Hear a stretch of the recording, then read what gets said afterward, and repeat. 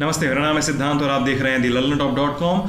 Kanpur का काबिक्रू कांड, दो तीन जुलाई की रात विकास दुबे और उसके सहयोगियों ने पुलिस की दबिश देने गई। पुलिस की टीम पर कथित रूप से हमला किया, आठ पुलिसकर्मियों की मौत हो गई।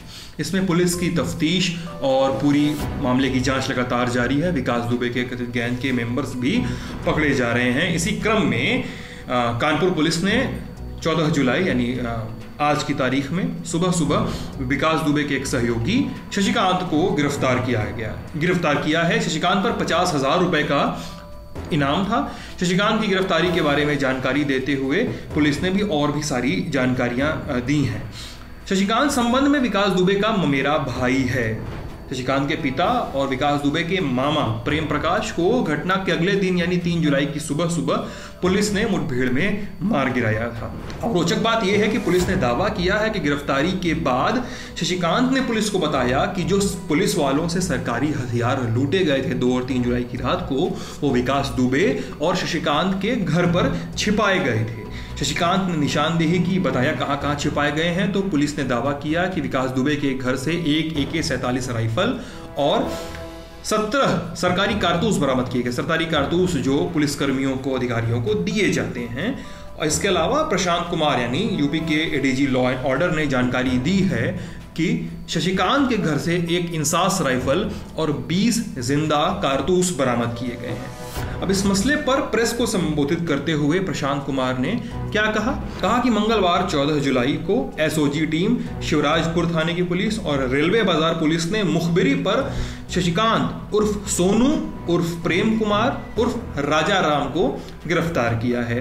पूछताछ में शशिकांत ने घटना में अपनी संलिप्तता, यानी अपने शामिल होने की बात को स्वीकार किया है, ऐसा पुलिस ने कहा है।